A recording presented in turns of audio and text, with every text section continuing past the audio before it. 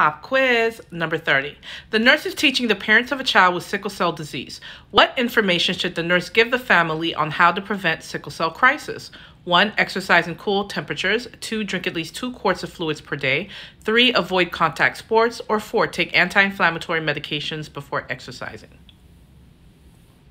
And guys, the correct answer is to drink at least two quarts of fluid per day. So, um, the highest risk, guys, for that patient that has sickle cell to go into sickle cell crisis is dehydration. It is very important. Don't only teach that to the patient, but teach it to the parents. Tell them to make sure that the patient always has a water bottle and they're always taking sips of water. They have to stay well hydrated and teach them to drink extra fluids if they're going to go out, be out in the sun for any amount of time where there's a chance that they're going to be sweating a lot. There's a chance that they're going to be losing fluids through the sweat, that they're going to be dehydrated.